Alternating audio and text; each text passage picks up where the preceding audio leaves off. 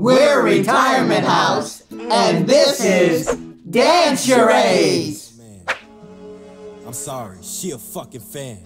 Uh, I get bread, all these fucking bands. Hey! Years old on God, I knew I was the man. Shit dropped out of school, I never had no fucking plan. Yeah, that's the Griddy.